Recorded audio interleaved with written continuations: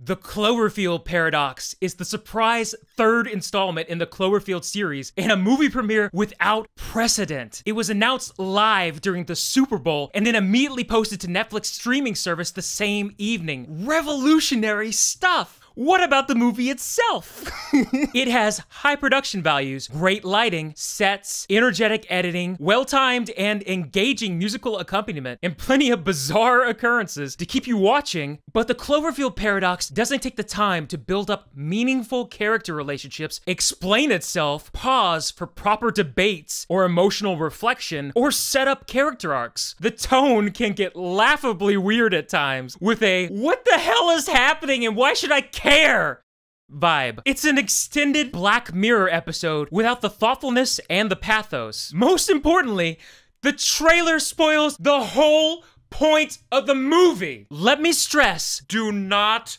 watch the trailer. This review will contain spoilers for Acts 1 and 2. A timestamp for my star rating and pros cons chart is in the description. The Cloverfield paradox takes place in a dystopian near future in which the whole Earth is suffering through an energy crisis. Rolling blackouts are sporadic and common inconveniences, and countries across the globe are on the verge of warring for each other's precious resources. An international space station dubbed Cloverfield, containing the Shepard experimental particle accelerator accelerator is the world's last chance at discovering an endless renewable energy source. After many months of trial and error, the scientists on board finally activate the machine with unexpected, disastrous results.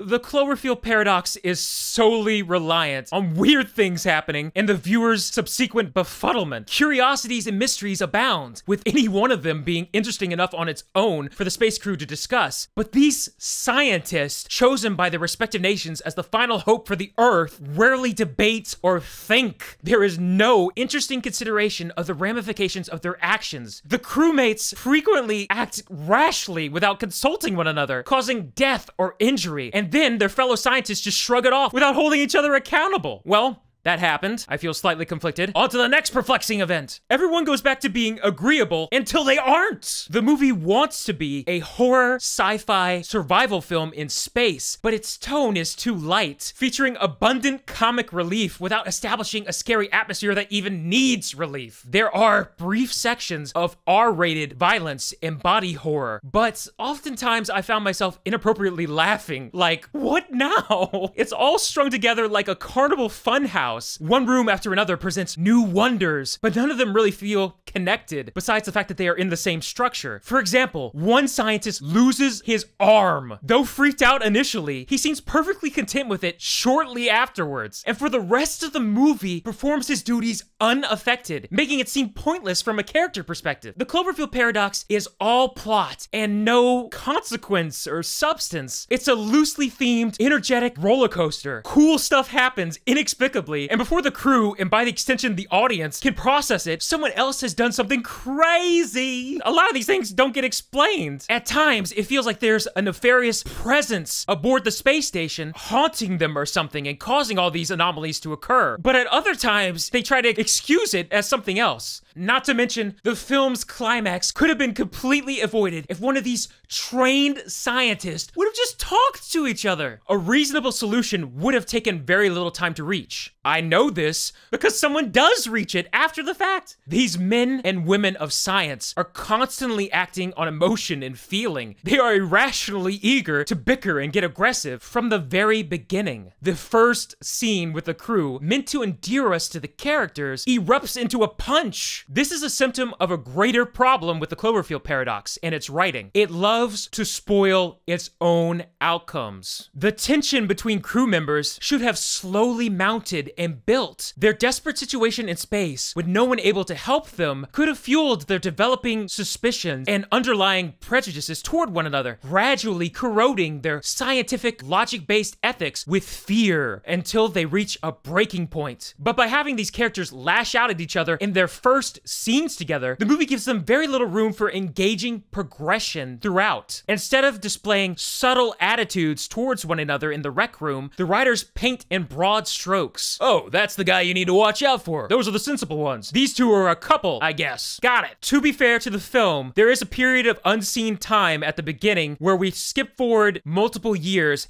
and maybe all these tensions built up off screen before the scenes that we are introduced to. But it's a bit unsatisfying. There's no gray or nuance to any of their relationships. No scenes of conversation of things that just happened. Hamilton or somebody else could have gone to check on Schmidt, like, hey, you kind of lost your cool in the rec room back there. That's not usually like you. What's up? Does mission get into you or something? And we could have a discussion, a dialogue, something. The characters only ever really talk about plot points, never about what they are going through internally and why. If they don't care about each other, why should we care about them? All that's left is he's the hothead, he's the leader, he's untrustworthy, etc. They barely deviate. Also, with regard to the movie spoiling its own outcomes, a conspiracy theorist author on a news broadcast reveals exactly what will happen in the movie. Within the first 15 minutes. That is not foreshadowing. If you cut out half of that interview broadcast, maybe. Instead, the movie is spoiling itself. The audience has just been robbed of the opportunity to discover these story points with the crew, and we're now waiting for the characters to come to the same conclusion we already were presented with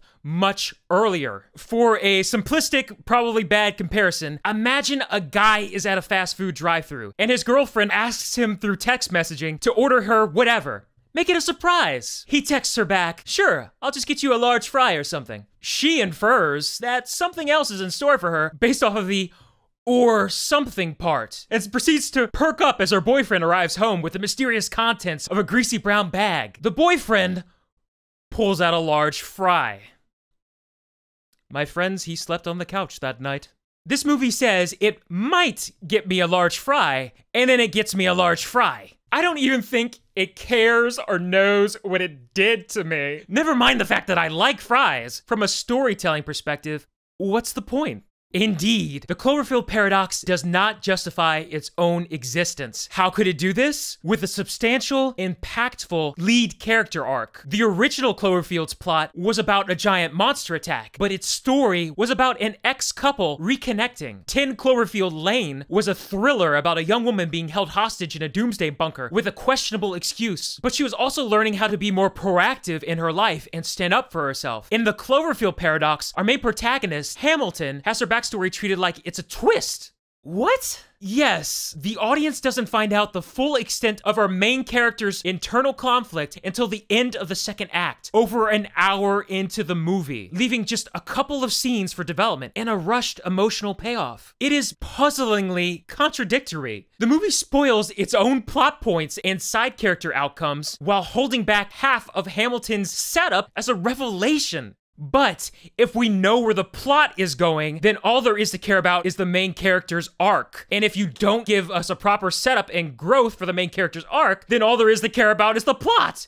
We're going in circles. This is the true Cloverfield paradox. The way it treats both the main characters and the plot and side characters each tells you that you're supposed to care about the other thing at the same time, but you can't care about the other things because they're not developed enough or well hidden enough or built up enough. So it doesn't make sense what you're supposed to be caring about. Whew. If we don't know Hamilton's backstory, how can we get invested in her point of view and recognize when she's progressing? Her backstory could have served as an interesting point of personal bias that the the crew could have used against her in certain debates and situations, or it could have affected the way she responds to her fellow scientists, besides being a bit more compassionate and empathetic. Instead, Hamilton is slightly detached and inert. Rather than weaving her development throughout the film as these events take place, it's set aside until the writers know what to do with it. By then, it's a bit too late. I haven't had the time to fully relate with her before the emotional payoff I referenced earlier. Then, there's Hamilton's boyfriend, Michael, who we cut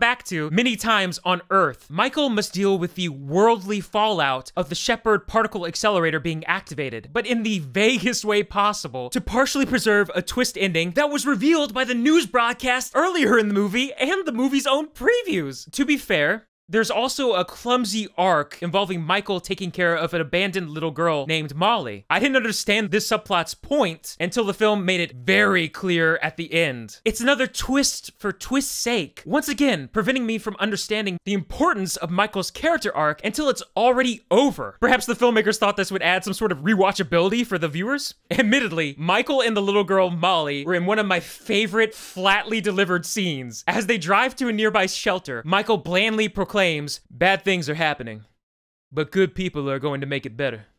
to which Molly responds, We're going to need a lot of good people.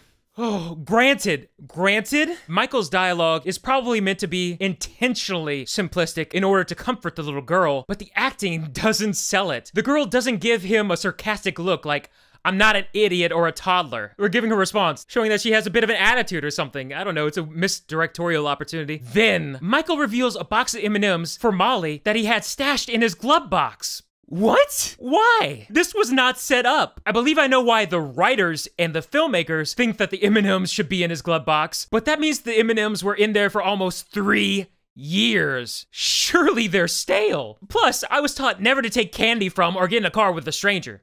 Is Michael a secret pedophile? There are many contrived situations in this movie that make you wonder why? And flat line readings that provide a chuckle. For examples, see also Michael's bland delivery of the line, I'm sick of only seeing you on a screen. 7 minutes and 55 seconds into the Netflix stream. And also the way Mundy says BS 21 minutes and 28 seconds in. It is unfortunate that the performances are so inconsistent, sometimes quite emotional and energetic, and other times stiff and very funny because of it. The film casts familiar and reliable character actors Daniel Bruhl, Chris O'Dowd, David Oyelowo, and Zhang Zi. For the most part, they actually give this material far more gravitas and commitment than it probably deserved. Props to these actors. The Cloverfield paradox can also be redundant and over explain things. The opening scene of the film has radio broadcasts provide exposition on the Earth's energy crisis. Then, in the same scene, Hamilton tells her boyfriend Michael the exact same information. Why? The radio was a natural way to communicate this information because people in cars stuck in traffic listen to the radio for updates anyway. Not only is it repetitive, but Hamilton is also giving Michael information he already knows. It's clunky. And it's not the only time that Michael is told something from Hamilton that he already knows. In fact, he even has a line of dialogue saying, I know, rendering it even more clunky. Oh, thanks for literally telling the audience you're getting this information for no reason. Similarly, later on in the movie, one character reminds another character that he is not a bad guy. She knows this already. We know this already. This serves no logical purpose except to remind the audience of a previous beef between the two characters. Moreover, she ignores his reassurance. It's doubly pointless. Either have his words positively affect her and remind her, or cut his lines out and have her give him a mean look from behind his back. Either way would still communicate the exact same thing without being contradictory in the outcome they desire.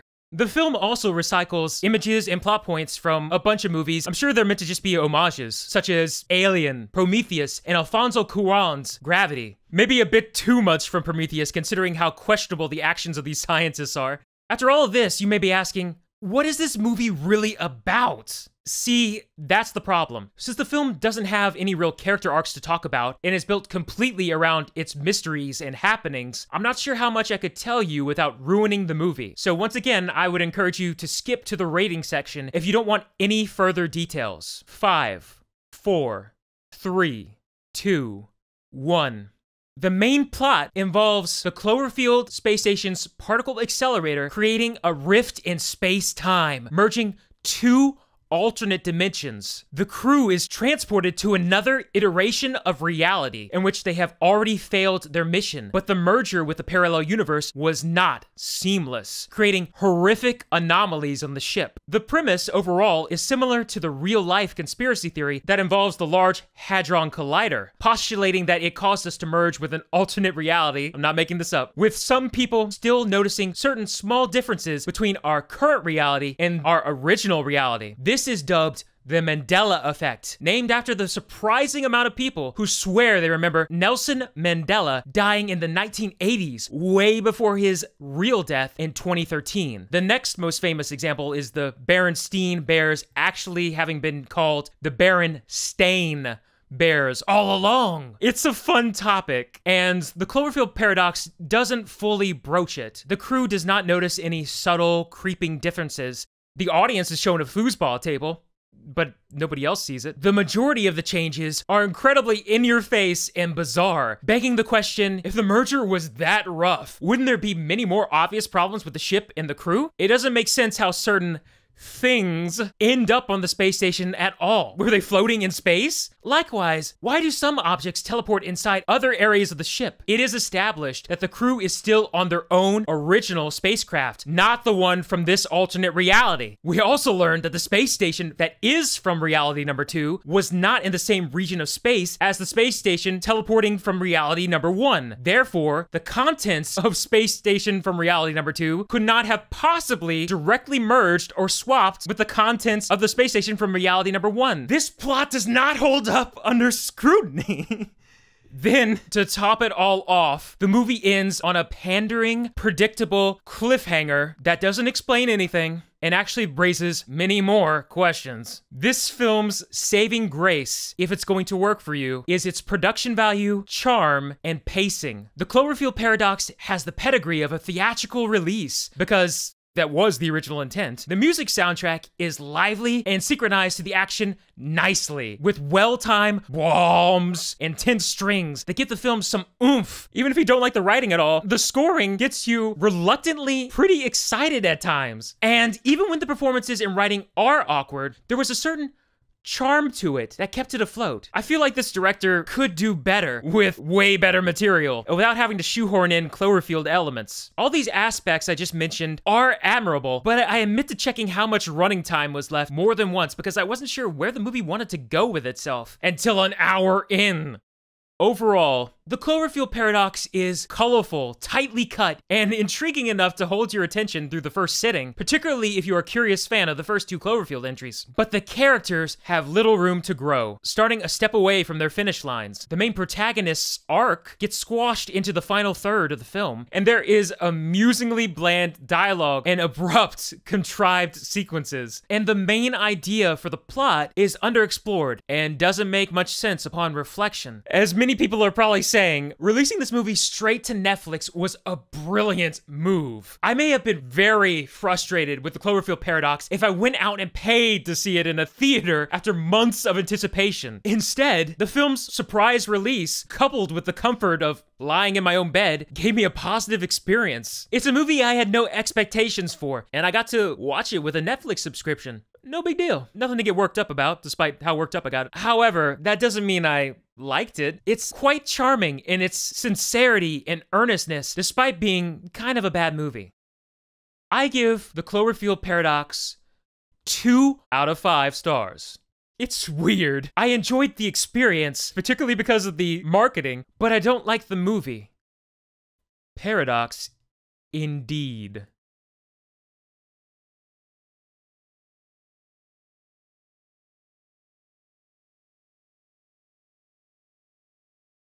Oh, yellowo. A leluo. A yellowo? Crap. It's pretty exciting at times, even if you're not enjoying yourself.